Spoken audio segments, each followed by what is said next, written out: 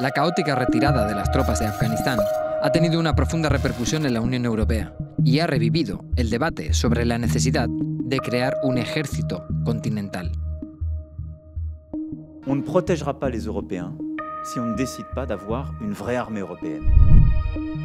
Jahre, wir sollten an der Vision arbeiten, eines Tages auch eine echte europäische Armee zu schaffen. Desde hace años, los líderes europeos debaten sobre la creación de un ejército europeo, pero hasta ahora no se ha dado ningún paso claro para hacerlo realidad.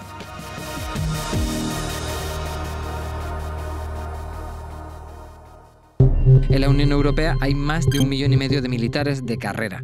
Estas tropas participan en operaciones militares en diferentes teatros de conflicto.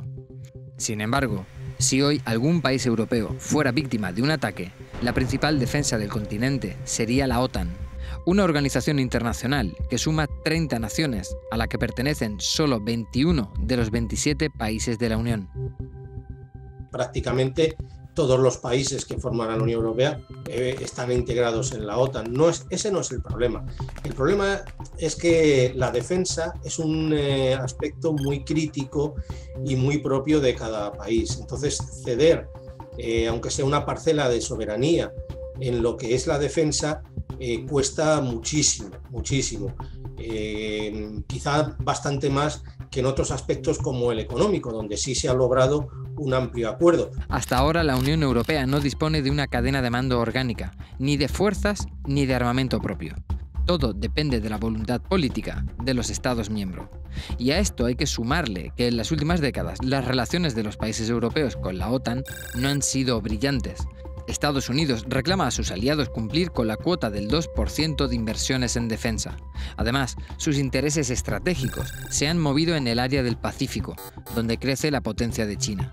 Sin embargo, Europa tiene también otros problemas, las tensiones con Rusia tras la invasión de Crimea o la inestabilidad en su frontera sur, una divergencia de objetivos que ha contribuido al resurgimiento del debate sobre la autonomía estratégica militar de la Unión Europea. Históricamente Francia ha sido el defensor más convencido de la necesidad de crear un ejército europeo. Tras la salida de Gran Bretaña, es el único país con capacidad nuclear del viejo continente y ha ofrecido su paraguas atómico a los otros socios. Par ailleurs, nos forces nucléaires jouent un rôle dissuasif propre, notamment en Europe. La salida del Reino Unido ha conllevado también la pérdida para la Unión de uno de los ejércitos más preparados y tecnológicamente avanzados del mundo. Y la geografía de las Fuerzas Armadas europeas es un reflejo de la complicada situación política que vive el continente.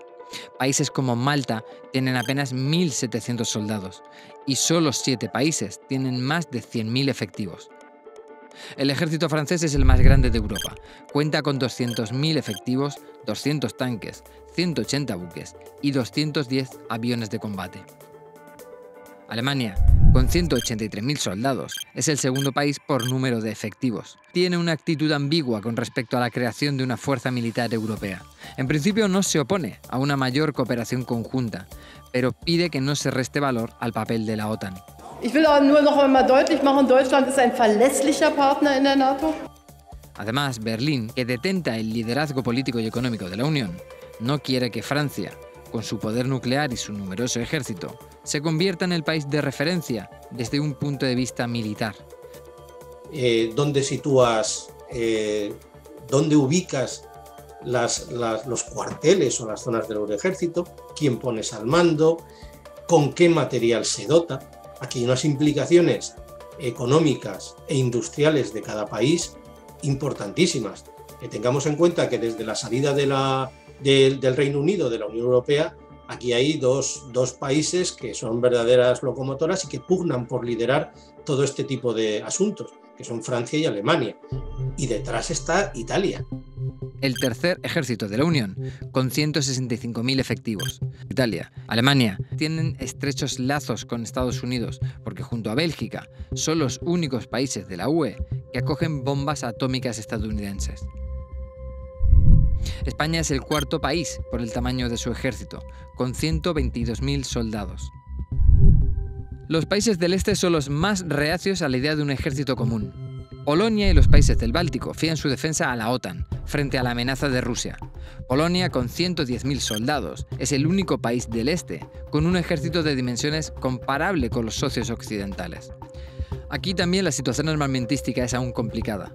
El país tiene unos mil tanques entre antiguos T-72 soviéticos y modernos Abrams americanos, y su fuerza aérea mezcla los modernos F-18 y F-35 estadounidenses y los obsoletos MiG rusos.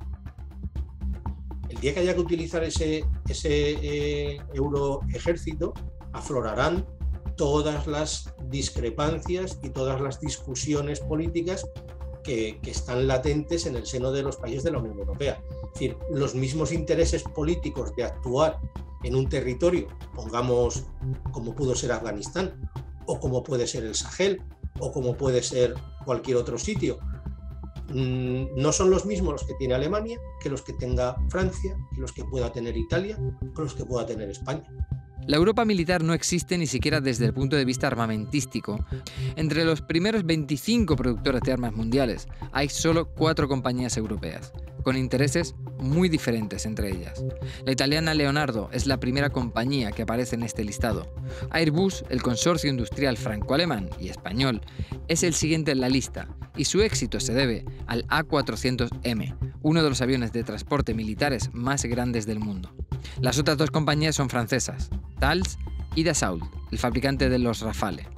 Y el problema de crear un ejército europeo es que significaría cambiar estos equilibrios para favorecer una empresa en detrimento de otra. Pero a pesar de estas diferencias y de los intereses contrapuestos, la política común de defensa europea ha crecido a lo largo de los años. En 2005 se crearon los grupos de combate de la Unión Europea, unos batallones de alrededor de 1.500 soldados, integrados por los países miembros de forma rotatoria, que deberían garantizar una fuerza de respuesta capaz de desplegarse en cinco días y con un mandato de hasta tres meses. Un paso adelante, que sin embargo no parece suficiente para garantizar la seguridad de los 450 millones de ciudadanos europeos.